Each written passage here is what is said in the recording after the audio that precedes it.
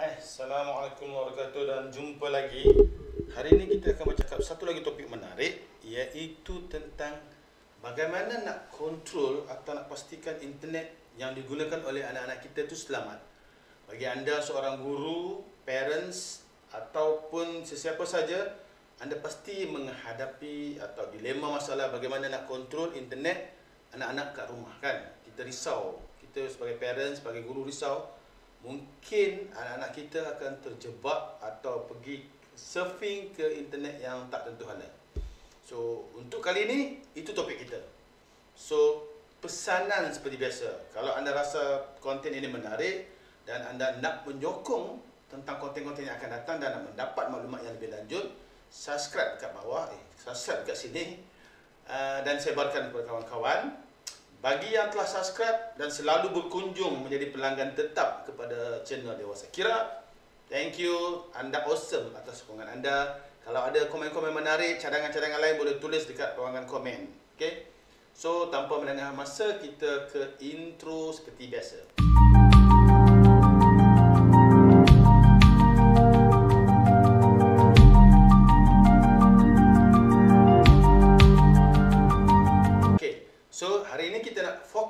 Kepada satu tajuk iaitu nak buat uh, parenting control untuk anak-anak dalam Google Chrome. Kita akan combine dua benda. Satu plug in ke dalam uh, Google Chrome, satu basic setting dalam Google Chrome. Okey. Tentu anda-anda risau kan? Oh, takut anak-anak kita pergi melayari ke laman web tak apa-apa. So, pertamanya kita type Chrome search setting dalam Chrome, Google buka Google Chrome.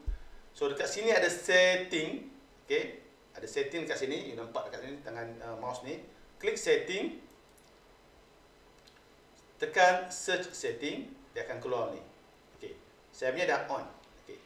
Dia by default dia adalah tak klik atau off. So kita klik sini on search setting satu.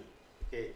Yang lain-lain kita boleh uh, use private result pun semua okey open selected dengan tak ini tak penting. Current region pun tak penting. Yang penting ini first kali search setting. So klik save. Search setting save. Kemudian yang kedua kita pergi dekat hujung sini.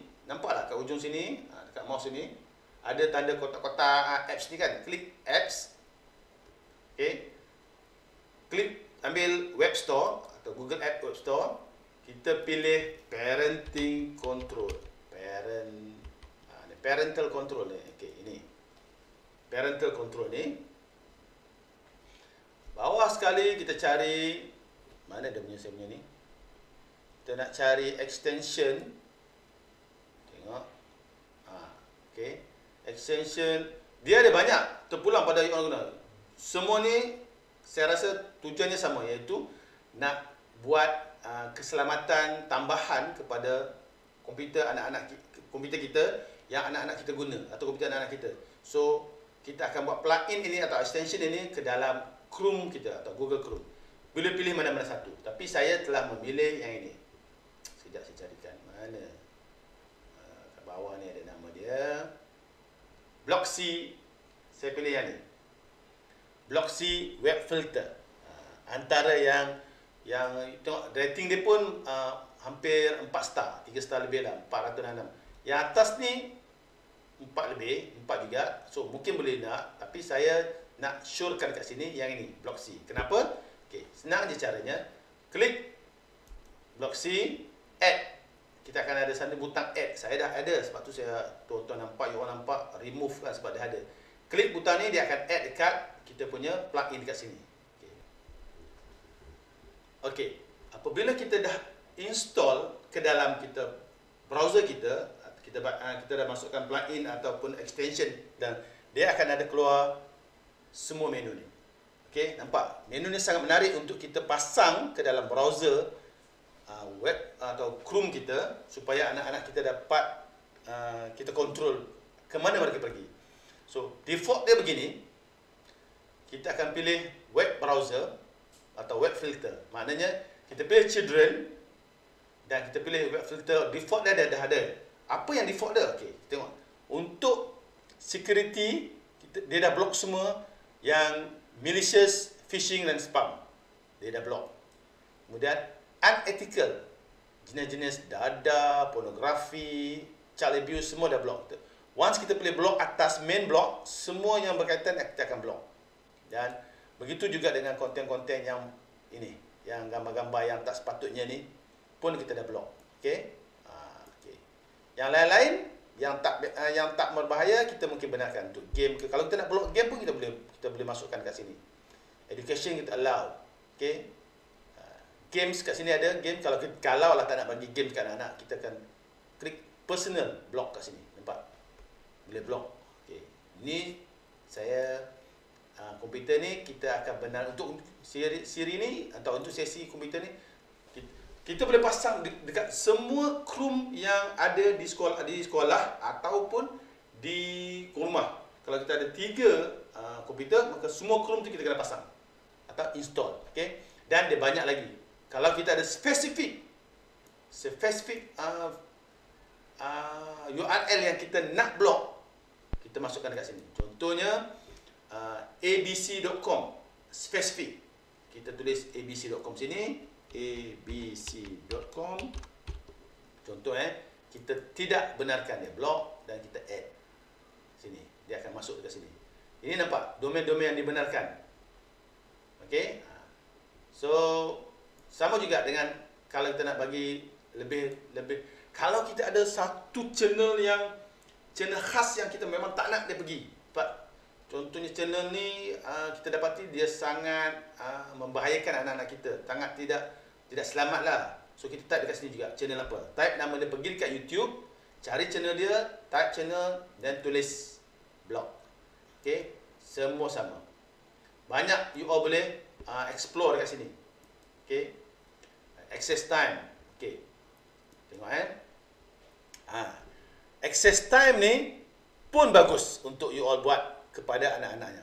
Tapi dengan syarat dia hanyalah berkuat kuasa dekat Google Chrome saja kalau anda ada uh, browser lain contohnya dekat bawah ni ada browser uh, Firefox ada Edge maka tak berlangsung lah. Benda ni tak akan berlaku lah sebab kita block untuk Chrome saja so bagi anda yang tak mahir IT uninstall yang lain atau buang semua browser lain kita hanya ada browser Chrome saja so kita buat installation ini dan kita buat pukul ah untuk anak katalah hari Ahad kita benarkan pukul berapa? Kosong ni pukul 12.30 malam lah ya. 23 ni sebab dia 24 hours punya. So kita benarkan dia hanya uh, buka komputer pada ini saja. Contohnya tengok dia tulis to block internet access from 8 sampai 10 bahasa Melayu pula Monday mak mak tu maknanya block. So maknanya kita nak block pukul tengah-tengah malam kan. Okey, kita nak benarkan dia uh, main pukul 8 sampai pukul katalah 8 pagi so, sampai pukul 5 petang saja kan. Okey, pukul 6 kita blok. So yang merah ni adalah blok. Kita klik blok sini. Nampak? Ha, so pukul 8 yang ni pukul 6 blok hari Ahad. Contohnya lah. Kan? Hari Ahad kita nak hari kita nak bersama keluarga katakan. So kita blok yang tu. So dia tak boleh.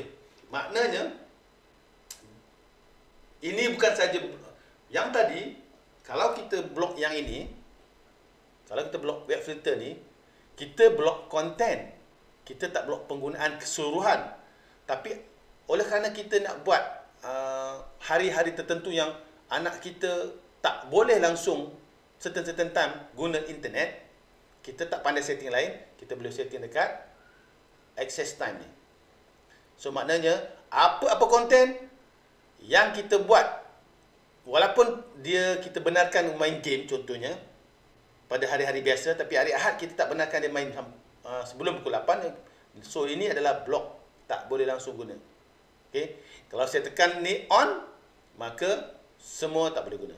Begitu juga dengan Saturday. Katalah Saturday ni kita tak nak langsung anak kita guna uh, komputer sebab kita nak itu family time. So kita blok kita blok semua. Okey contohnya contohnya blok semua eh kita tandakan merah tanda merah, tanda merah semua ni. Tanda merah sampai habis lah. Sorry, ini bukan. So, merah is block. Okay, dah block. Okay. So maknanya pada hari-hari Saturday walaupun kita benarkan dia main game dekat salam ni dalam sini ada game kan kat personal tak siap saya game tadi ha, walaupun kita benarkan dia main game tapi game tu dia tak boleh main pada hari Saturday. Hari lain boleh sebab hari lain kita tak block. Nampak tak?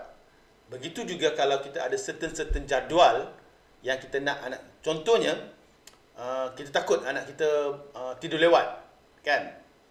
So 20 adalah pukul 8 9, 10, 11, pukul 12 20 pukul 8 so kita nak maksimum dia boleh setiap hari dia boleh guna internet sampai pukul 8 malam so pukul 9 kita dah block kan? So tutup pukul 9 pukul 9 tutup.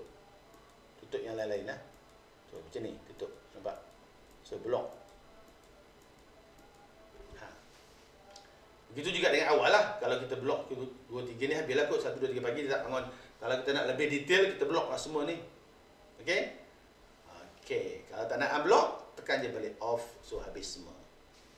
Ok so kalau ada soalan boleh tanya lagi. Kalau ada cadangan yang lebih baik boleh bagi cadangan untuk saya kongsikan dengan kawan-kawan yang lain. Kalau tak ada ah, terimalah apa yang ada dulu. Okey? So selamatkan keluarga kita daripada pelbagai um, unsur-unsur yang tak sepatutnya. Anda di luar sana ibu bapa jika risau ini adalah salah satu cara mudah. Banyak cara lain sebenarnya tapi inilah salah salah salah satu cara yang paling mudah untuk kita mengawal sedikit pergerakan atau penggunaan anak kita ke dalam uh, dunia internet ni. Selamat mencuba. Jumpa lagi. Assalamualaikum.